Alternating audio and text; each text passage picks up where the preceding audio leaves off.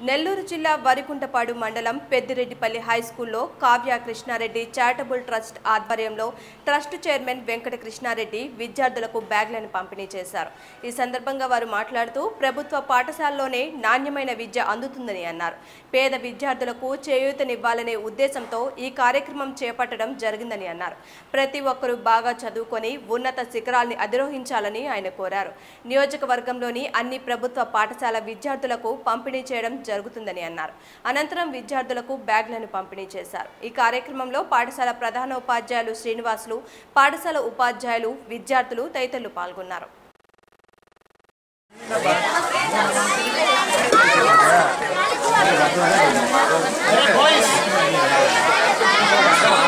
Boys sir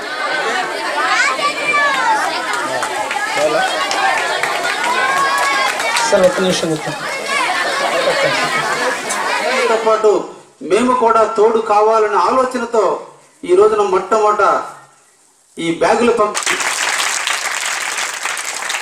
మనం పాఠశాలకి వచ్చిన నాడు ప్రాంతం ప్రకృతి కరుణిస్తే మన మన కళ్ళల్లో ఆనందం ఉంటుంది.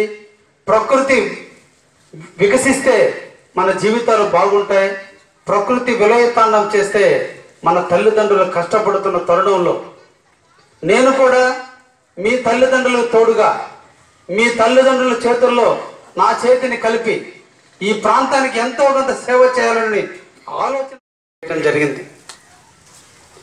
ఈ ట్రస్ట్ యొక్క ఉద్దేశాలు విద్యాపరమైనటువంటి మౌలిక సదుపాయాలను కల్పిస్తే రేపు రాబోయే కాలంలో మీది జీవితం. మీరే ఈ భారతదేశ నిర్మాతలు.